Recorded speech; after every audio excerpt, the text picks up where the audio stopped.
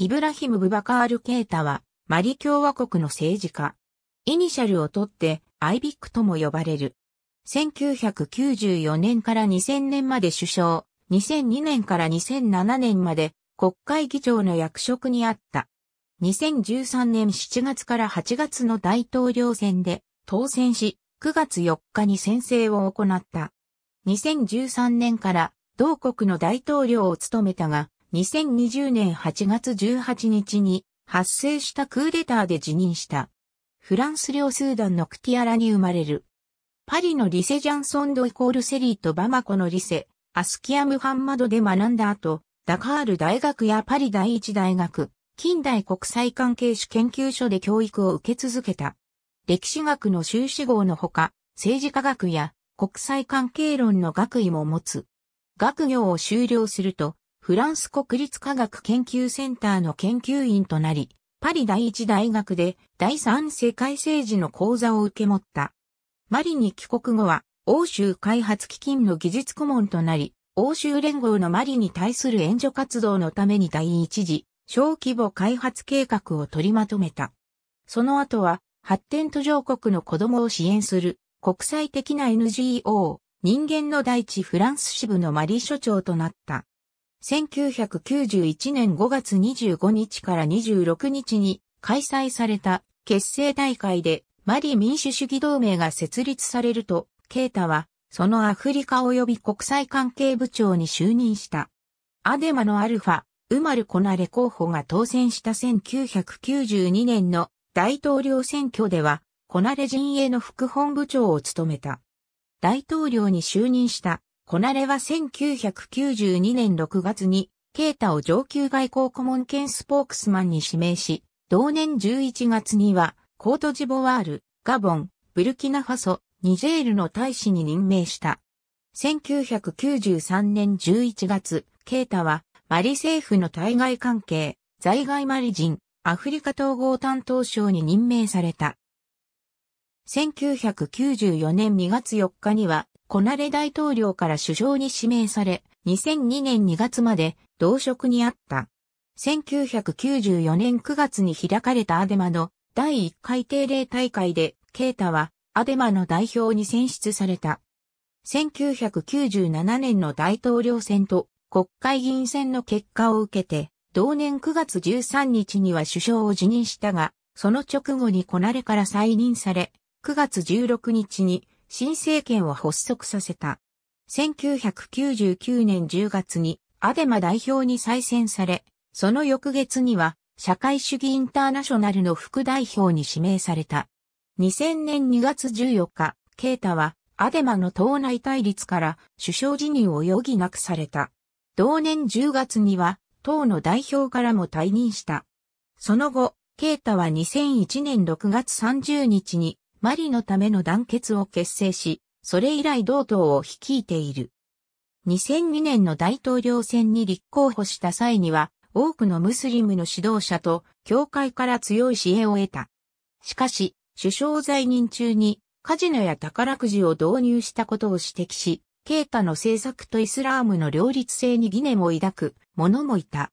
4月28日の第1回投票で、ケータはアマドゥトゥマニトゥーレとスマイラ失勢に次ぐ21%の得票率で3位につけた。ケータは選挙に不正があったと求断し、自身が第2回投票から意図的かつ不正に排除されたと主張した上で、他の候補者と共に選挙結果の無効を求めた。5月9日、憲法裁判所は選挙に重大な不正行為があったと認定し、投票数の4分の1をそのために無効にしたものの、第2回投票は、トゥーレとシセの上位2名の候補者によって争われるとの裁定を下した。憲法裁判所によると、得票率21.03%のケータが得た票数は、シセにわずか4000票弱及ばなかった。同日、ケータは裁判所の裁定を受け入れた上で、第2回投票では、トゥーレの希望2002同盟を支援すると表明した。ケータは自らを法を守る人と称した上で、裁判所は法に従ったと述べた。その第2回投票ではトゥーレが当選した。2002年7月の国会議員選挙でケータはバマコ地区第4コミューンから第1回投票で当選した。さらに9月16日には、アデマを含む広範な支持を受けて、国会議長に選出された。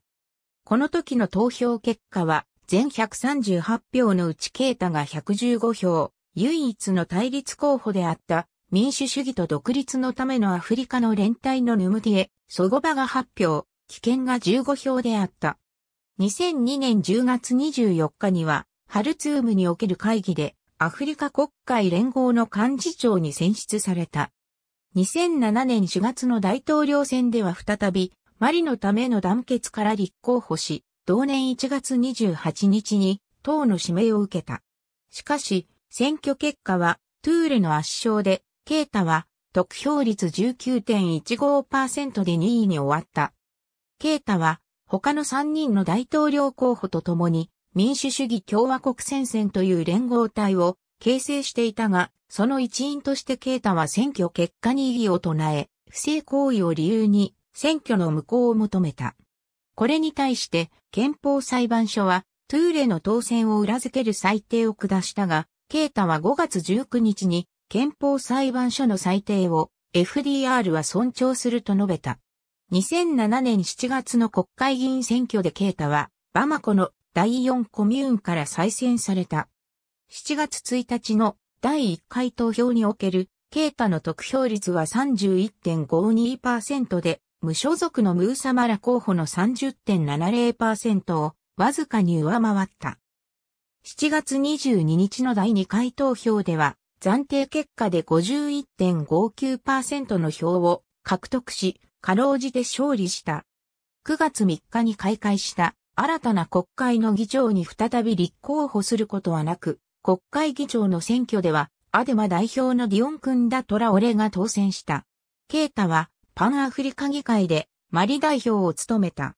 2007年から2008年にかけて、国会の対外関係、在外マリ人、アフリカ統合担当委員会の委員であった。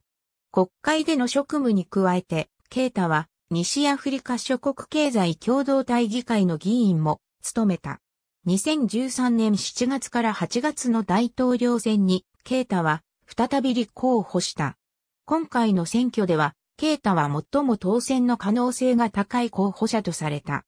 選挙の第2回投票でケータはスマイラシセを破って当選し、2013年9月4日に大統領としての宣誓を行った。ケータは大臣の任命にあたって政治的な思惑よりも能力を重視することを誓い、9月5日にはテクノクラートの銀行員であるウマル・タタムリーを首相に任命した。タタムリーの辞任後は、ムーサマラ、さらにモディボ・ケータが首相に任命された。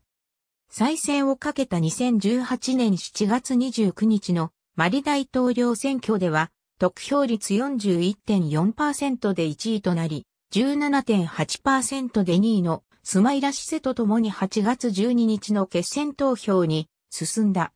決選投票で67%の票を獲得し、再選。2020年8月18日、一部兵士によってブブ、施首相と共に身柄を拘束された。